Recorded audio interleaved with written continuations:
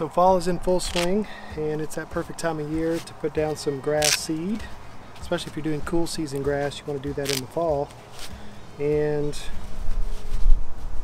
for me, before I can put down the grass seed, I need to put down some topsoil. So that's what we're going to do today.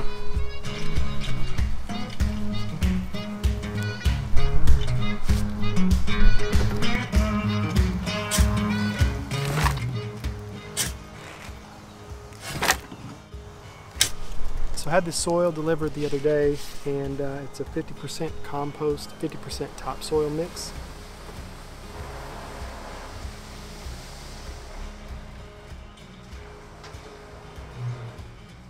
And uh, it looks to be really rich. In fact, I don't think I'm going to put any fertilizer down.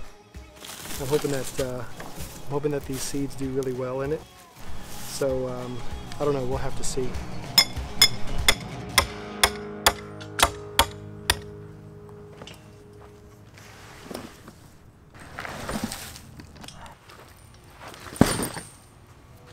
So let me see if I can try to explain what I'm doing here. The base of the tree, let's call it the left edge. The sidewalk and the driveway and any concrete, let's call it the right edge. So everything between the left edge and the right edge, I want the soil to be in a straight line, which is going to be accomplished with the 2x4. So by putting the 2x4 in between the two stakes, the stakes act as a pivot and I'm going to drag the other end along the concrete edge.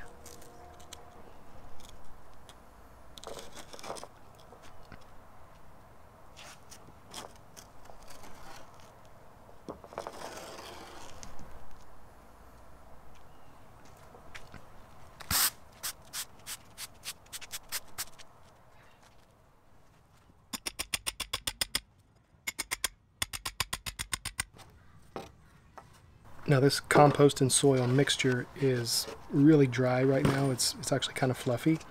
So once I get the first layer in, I'm going to wet it down, try to get it to settle.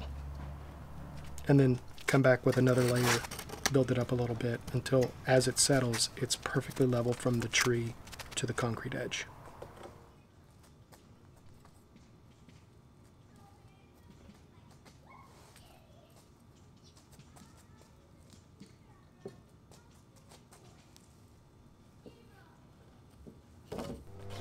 Alright, so I just wanted to show you guys what I'm dealing with right here.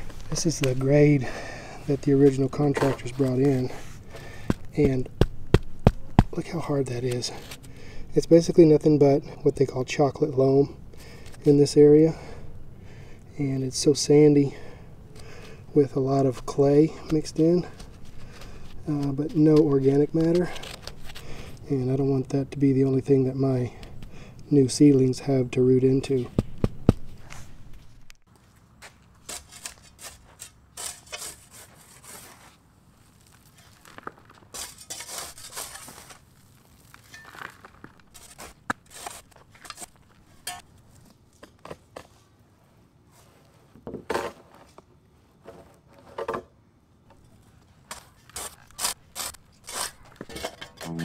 Thank you.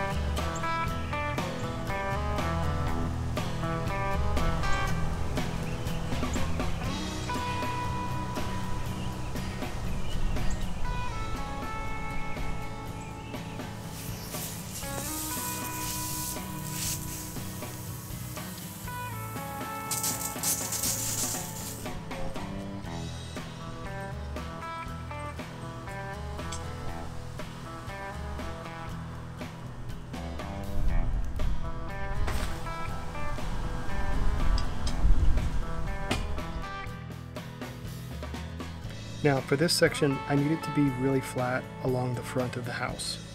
Unfortunately, I don't have any concrete or any guidelines, so I'm gonna put in my own.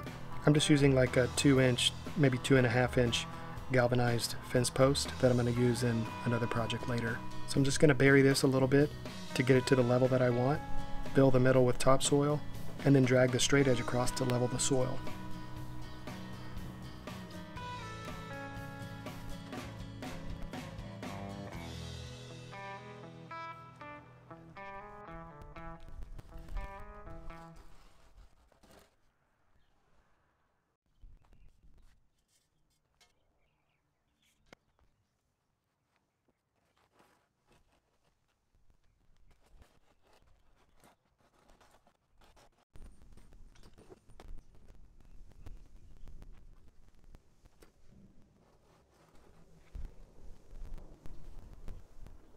Now that's about as far as I got, and then this happened.